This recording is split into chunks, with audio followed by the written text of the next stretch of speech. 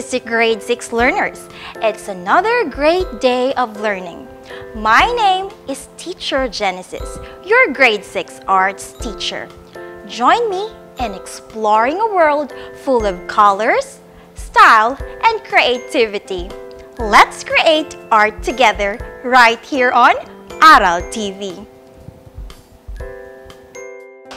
To start your new learnings, our today's fun-filled session will help you learn how to create digital paintings similar with the masters in terms of styles, themes, and different designs. Get your module, pen, paper, and gadget ready. All set? Let's begin! Answer the following questions that you will see on your TV screen. You have 5 seconds to choose the letter of the correct answer and write it on your paper. Read with me. Here is number 1. A software that allows you to create digital paintings.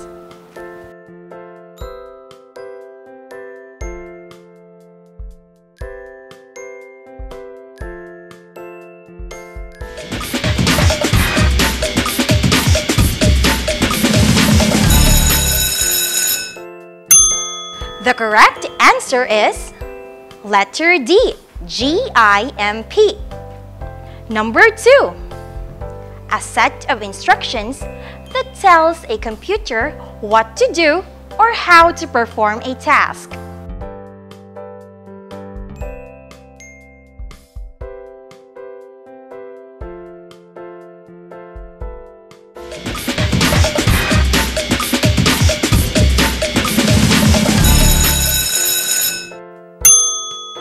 Correct answer is letter C, software. Number 3. GIMP is an acronym for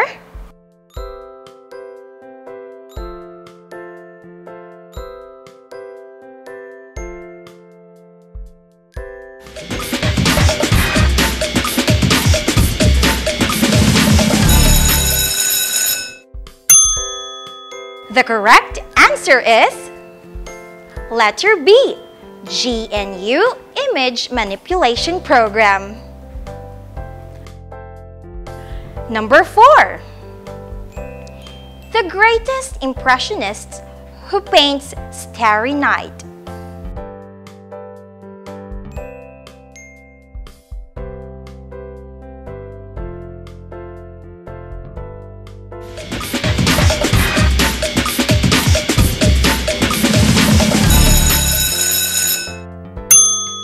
Correct answer is letter D, Vincent van Gogh. Number 5. An element of the painting tool that allows you to select a brush shape and also the thickness in pixels you want to paint on your image with.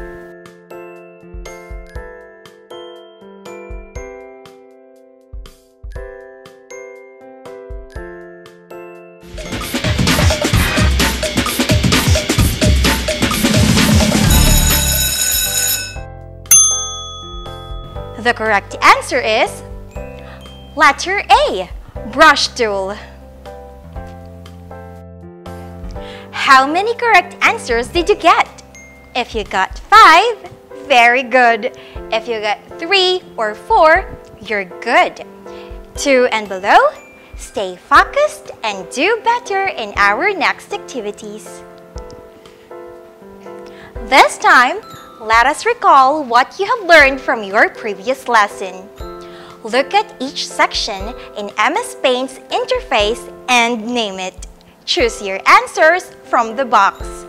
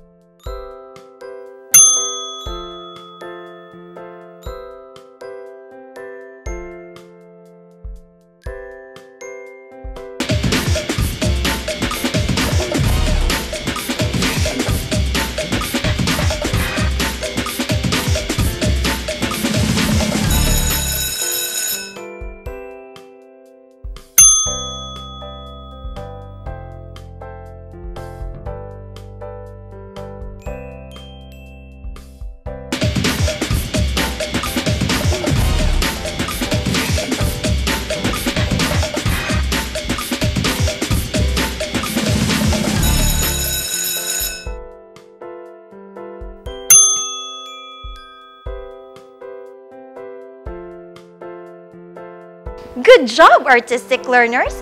I know you did well in this activity. Art processes like drawing, painting, printmaking, and sculpting can be done through digital devices such as cell phone, tablet, and computers installed with software. Can you distinguish a digital art from traditional art? Look at the picture that will be flashed on your screen. Based on your own preference, answer the questions that will follow with yes or no. Say your answer after hearing this sound. First question. Can you see the difference between traditional art and digital art?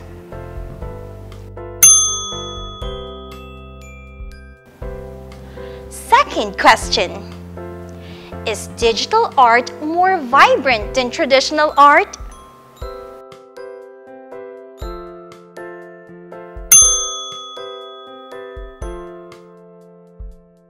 Third question. Do you find your work done not with real brushes but with the computer remarkable?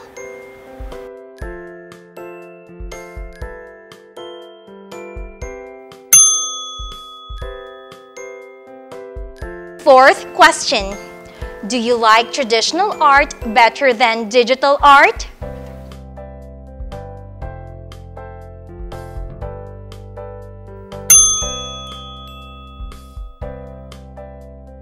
Fifth question. If you are to create an art, would you choose digital art over traditional art?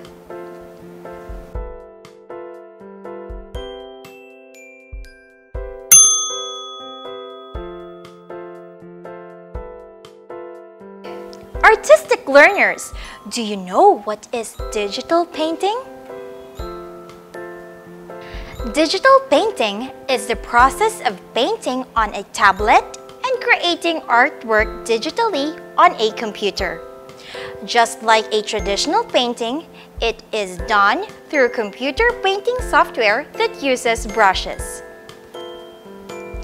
Digital painting is an emerging art form in which traditional painting techniques such as watercolor, oils, acrylic paints, etc. are applied using digital tools by means of a computer, graphic tablet and stylus, and software. Traditional painting is painting with a physical medium as opposed to a more modern style like digital. Digital painting differs from other forms of digital art, particularly computer-generated art, in that it does not involve in the computer rendering from a model. The artist uses painting techniques to create the digital painting directly on the computer. This time, we will paint using digital, similar with the masters like Van Gogh and David Villegas. But before that, let us first take a look at some of their artworks. Starry Night and Four Sunflowers Gone to Seed are two of the artworks of Vincent van Gogh. Gnosis Environment and Wind by Toast are the examples of artworks of David Villegas also known as Dave Calvis. Unlike Van Gogh, Villegas, a Filipino digital concept artist, uses the computer as a means to express himself artistically. In digital painting, we need to use computer software. What is computer software? Computer software often called as software, is a set of instructions and its associated documentations that tells a computer what to do or how to perform a task. Software includes all different software programs on a computer such as applications and the operating system. What is GIMP?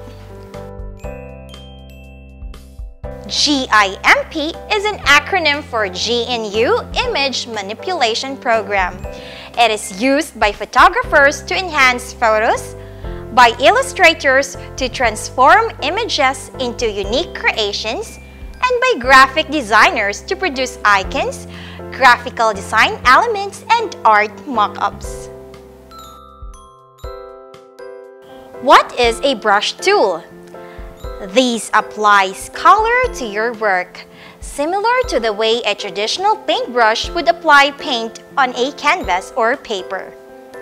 The edges of the lines created when using the brush tend to be slightly softer than that of the other tools, mimicking a real brush. The brush tool is an element of the painting tool that allows you to select a brush shape like square, circle, oval, and so on. And also the thickness in pixels you want to paint on your image with. As you move your cursor over the image, it leaves a stroke of color. How to create digital painting in GIMP. If this is your first time painting on GIMP, work from Sketch, use ScannedIn. If you don't have a scanner, here's what you're going to do. You can take a picture of your sketch with a digital camera and upload the image to your computer. When creating a sketch for a digital painting, do not shade. You'll do that in GIMP itself. Also, make sure to close all your shapes. If there are breaks in your line drawing, it will be more difficult to select certain areas of your sketch in GIMP. Start by scanning your sketch. Soon as your sketch is finished and sitting in the scanning bed, go to File in the menu bar above the toolbox. Click on Acquire and then choose your scanner. Set the scanning resolution to at least 300 dpi so you can print your digital artwork later on. You can always lower the resolution of an image without any problems, but you can't increase resolution and maintain the same quality. When GIMP imports the image, it may not be right side up. So go to Image in the Images menu bar. Click on Transform and then rotate it in the direction necessary. Now that your image is in place, it's a good time to save your document. Use the default GIMP file format of .xcf for the time being.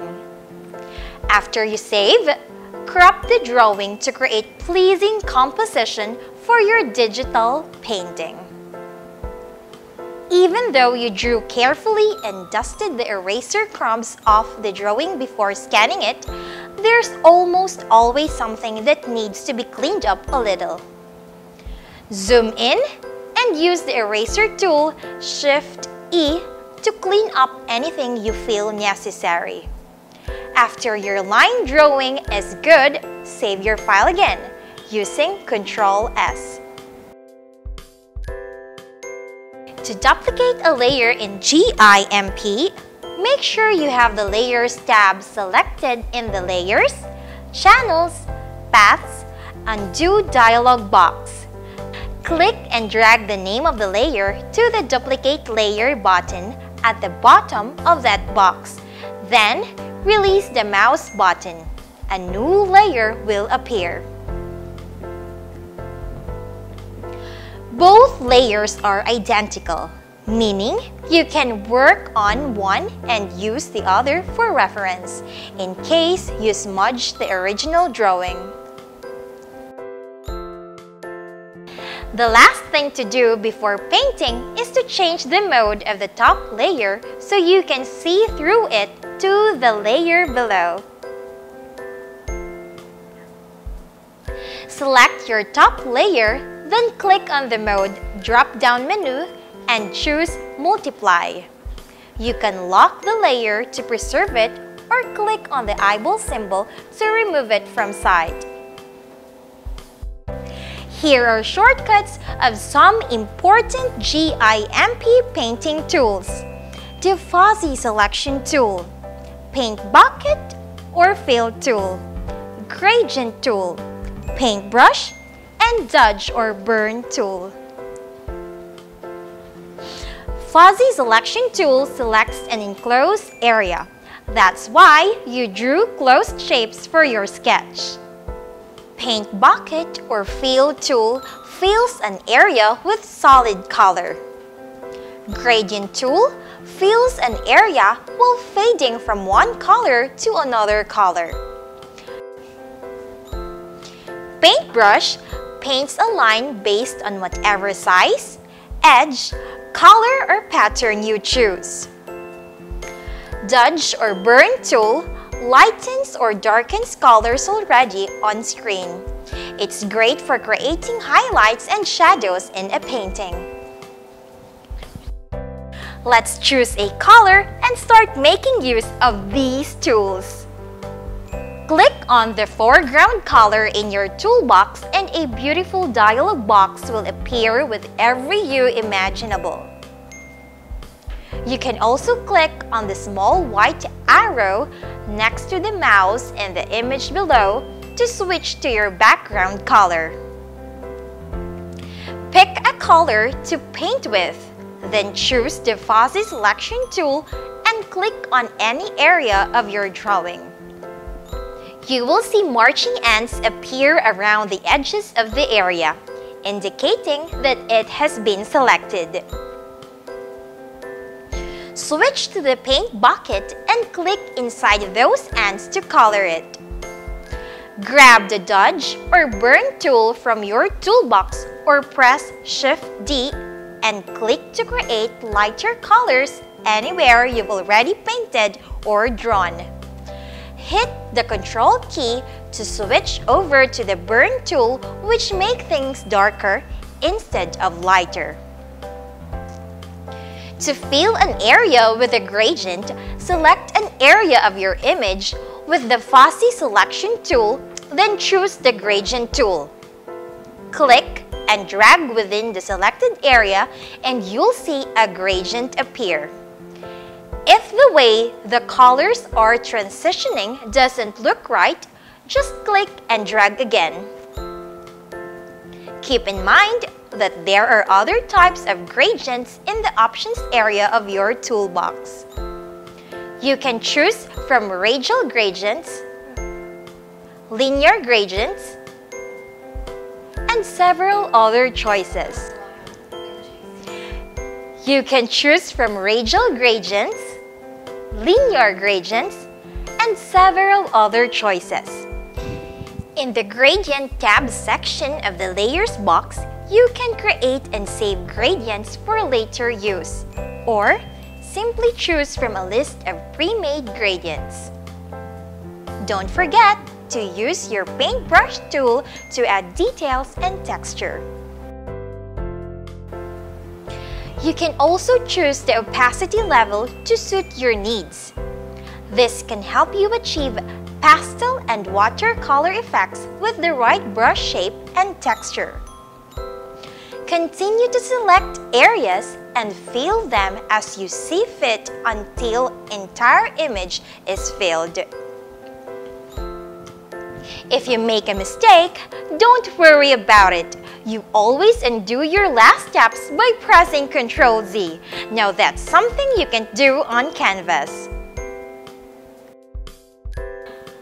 Now, let's make a simple abstract design using Shape Tool and Color Palette on MS Paint.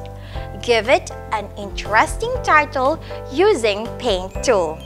Here are some examples of abstract designs using shapes and colors.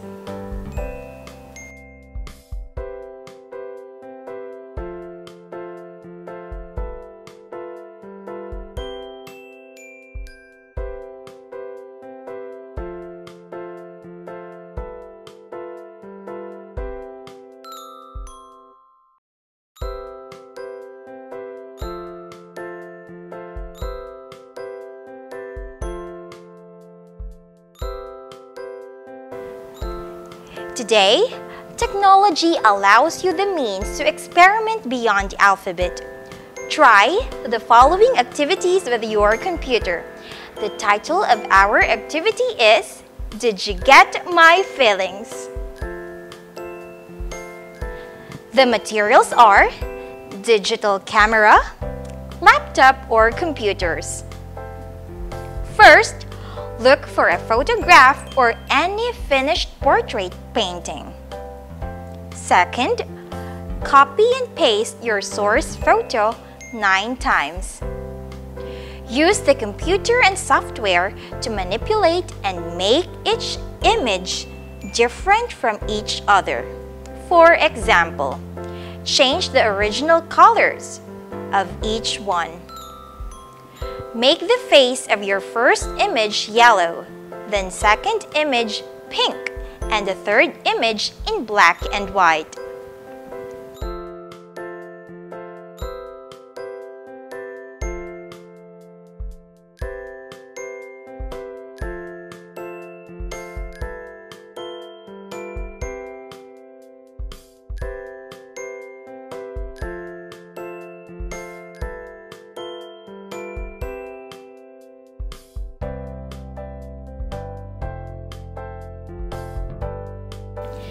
Stretch your imagination further by sharpening the contrast, dodge or burn tool between colors, placing it on another background, move tool, or zooming in, zoom tool on a part to put a third eye or color the image's lip alone. Finally, arrange them in a series.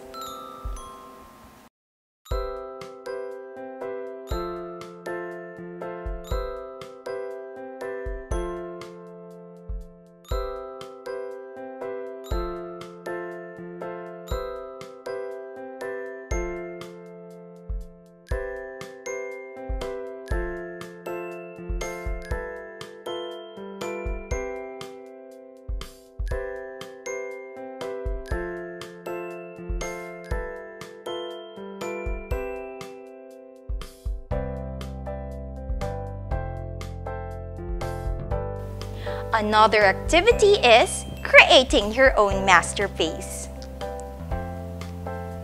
You are going to create a scenery of your choice but not limited to sunrise or sunset over the hills, a village, a school community, a farmland, or a forest with living animals. You will also think of an interesting title to the scenery of your choice and write it using Paint tool. Then, write your name at the bottom of the page to the right-hand side.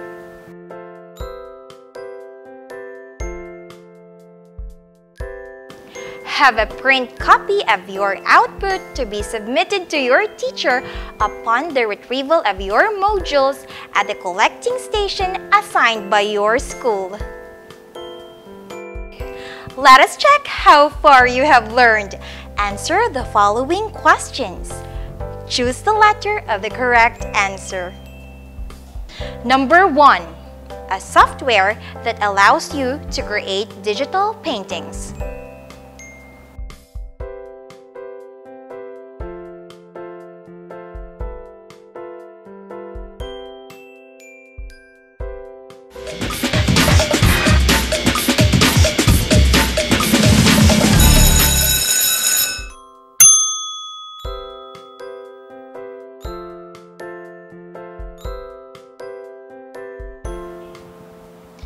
Number two, a set of instructions that tells a computer what to do or how to perform a task.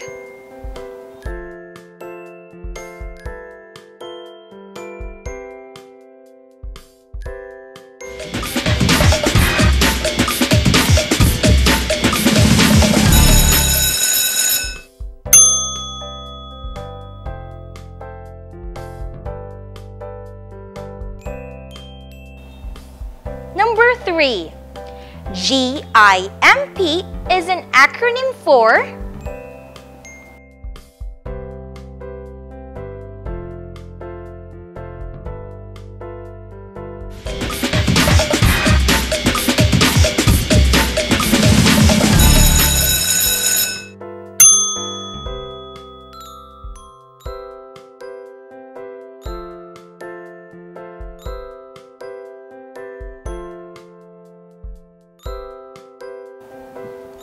Number 4.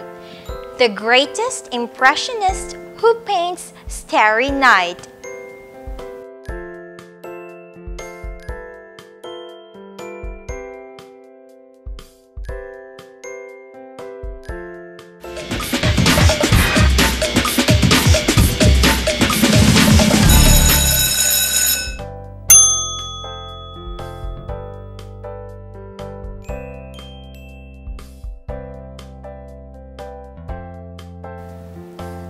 5.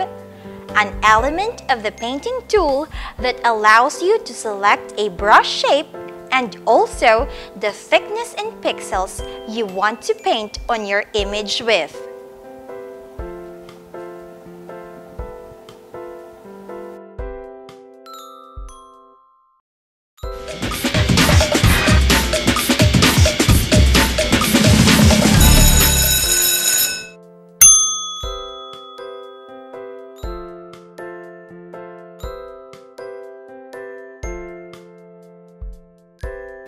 The following sentences tell the advantages of using computer in painting. Complete each sentence by supplying the missing word. Number 6. Errors can easily be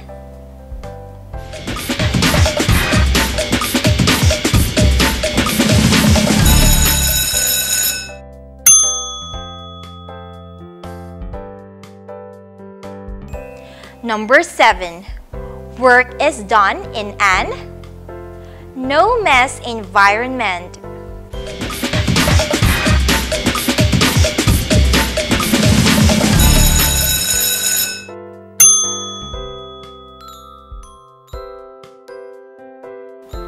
Number 8. Colors do not and brushes are never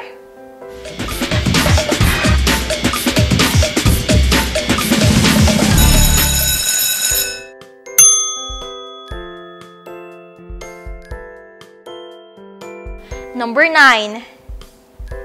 Stages and versions of the artwork can be filed and easily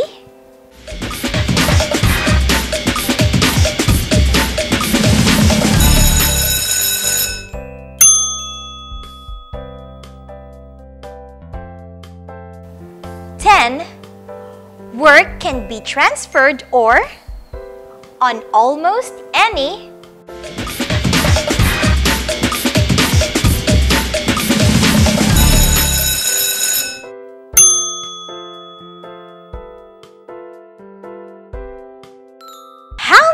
correct answers did you get?